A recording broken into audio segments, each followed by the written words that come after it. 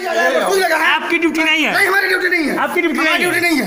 आपकी ड्यूटी नहीं हमारी है। ड्यूटी नहीं है। ठीक है। हमारी ड्यूटी नहीं है। चलिए आपकी ड्यूटी नहीं है। कोई इलाज नहीं करेंगे किसी नहीं। मरीज़ का इलाज नहीं करेंगे। ठीक है, आप मत साइलेंट हमारी ड्यूटी नहीं है। मिश्रा जी आप बोल रहे हैं आप मेरा नाम डॉक्टर बी के मिश्रा है ब्रजेंद्र कुमार मिश्रा मैं सर्जन हूँ सीएससी सलेमपुर पोस्टेड हूँ। हाँ। जिस मादर चौथ के माँ के भोसड़ा में दम हो जो उखाड़ ले मैं किसी मरीज़ का इलाज नहीं करूँगा। अरे भाई जो डॉक्टर इलाज हम अंदर वहाँ भेजो ठीक है तो ठीक है।